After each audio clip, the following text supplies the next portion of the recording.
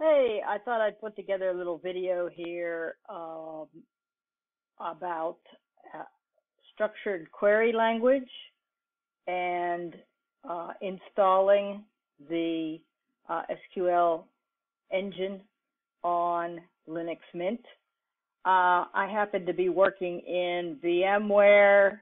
Uh, this is the Workstation 12 player, uh, but it should work within almost any virtualization environment.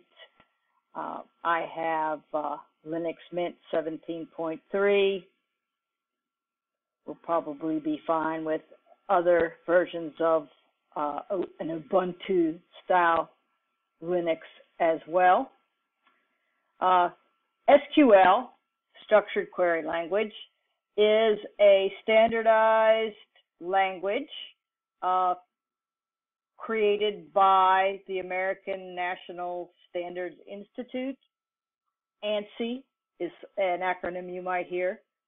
And they did this in collaboration with the International Organ Organization for Standards. Uh, you'll often see ISO representing that. The, the uh, YISO well, it's the International uh, Standards Organization in uh,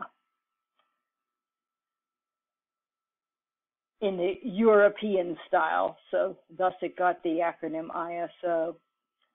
And SQL is a scripting type programming language for manipulating data in a relational database management system. It's important to know as a Linux administrator because so many Linux machines are used in uh, web server applications with a database backend. So one of the several open source software packages that implement databases for Linux uh, is MySQL. There's also Postgres, SQLite, uh, etc. But we're gonna we're gonna look at MySQL, and the MySQL server package is available in both the Red Hat and Debian derived distribution repositories. And MySQL also provides uh, a client application. And we'll get those going and um, you'll be able to uh, do some of the uh, experimentation and assignments. So let's start by account elevation, sudo. Go to the package management app get, install. And what we want to install is the MySQL server space MySQL client. And the password is going to be for your account, your account, whatever you happen to be using under your system. And the package lists are being read and brought down. You're told how many megabytes of additional disk space will be used. We're going to accept that with a Y and out in the archive, all the individual piece parts are being found and downloaded. After installing the MySQL server package, which is still working on, we're going to find out that we need to actually start the server before we can use the client. Ideally, uh, in a a commercial type application, the server should be configured to start automatically. That could be done by uh, putting the startup information into a .profile file. Uh, here we have a message. While not mandatory, it's highly recommended that you set a password for the MySQL administrative root user. And if this field is left blank, the password will not be changed. We are not going to set a password. The reason is it just simplifies things. You don't have to remember it in the future. And we don't, we're not putting this in any kind of a commercial installation. So I am just going to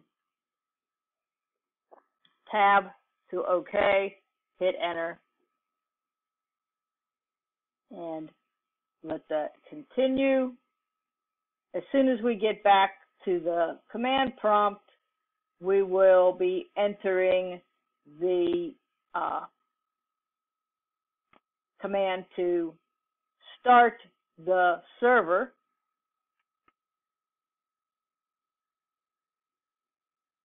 Okay, I'm going to say, again, I'm not going to put anything in for the root user.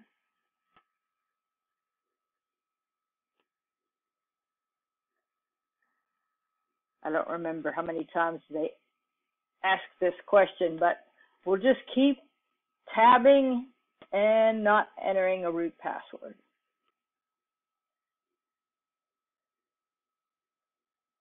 And here we go, back to the command line.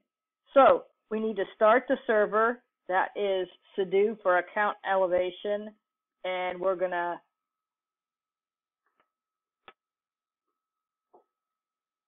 reference the path etc forward slash etc forward slash init.d, that subdirectory, and MySQL with the parameter start.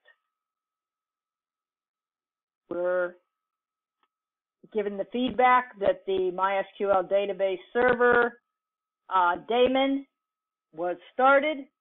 We're going to do sudo MySQL. And you may or may not be asked for your account's uh, account elevation password, depending on how recently you've uh, elevated uh, in the past. This time I was not asked for it. So the connection ID is given, the uh, server's identified, and I am now in the client application.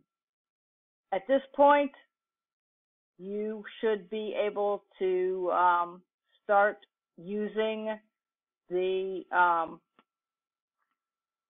the client tools, uh, explore any existing tables, create new tables according to the instructions in your assignments. So, I hope that was clear and yet you have fun.